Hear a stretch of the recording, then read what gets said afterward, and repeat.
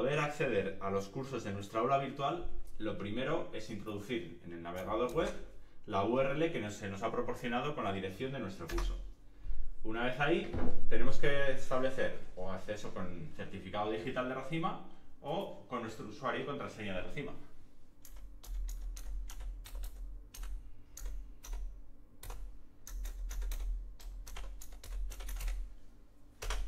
Desde aquí nos redirecciona automáticamente a nuestro curso.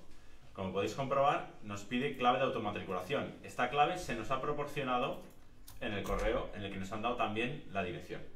Yo la voy a copiar y pegar automáticamente y con esto ya me matriculo en el curso.